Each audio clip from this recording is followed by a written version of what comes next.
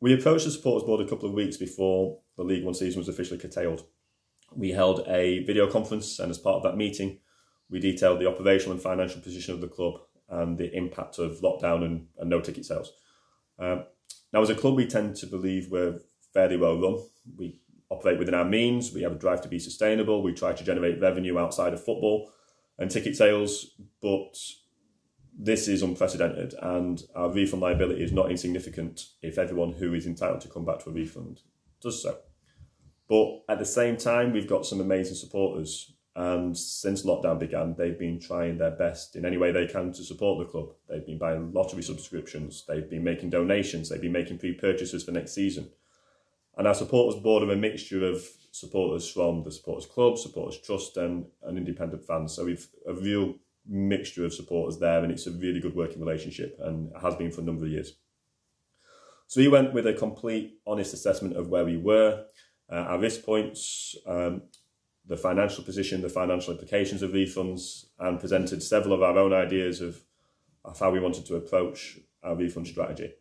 They really helped us narrow those ideas down.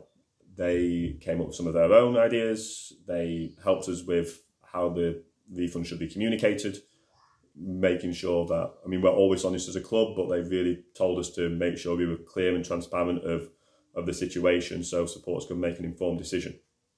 And they came up with a tagline in Rover Supporters We Trust, which is a, a play in our usual fan engagement campaign in Rovers We Trust.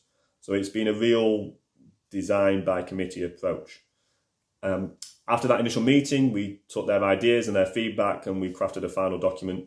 Uh, we then received some more ideas via email as well and, and have tried to put those into the mix. And then uh, we presented our final options and, and ideas back to the supporters board for, for comments really uh, and any changes. And hopefully it will go down really well. Um, it's it's been a design by committee approach. Uh, it's been created by supporters for supporters really. So we, we're really hopeful that it's it's going to work.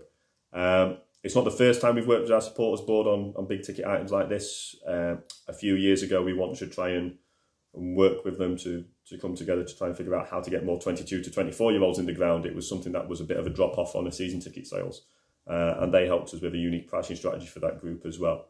So yeah, we've as a club we always put a lot of stock and emphasis on our relationship with supporters and making sure they feel valued and, and a lot of stock and emphasis on that supporters board relationship. And we use the supporters board to to help drive some key decisions of the club. And I think it's times like this when that approach needs to be reinforced um, as we're all in this together. So hopefully it will go down well with supporters and we'll see where we are in a in a few weeks' time.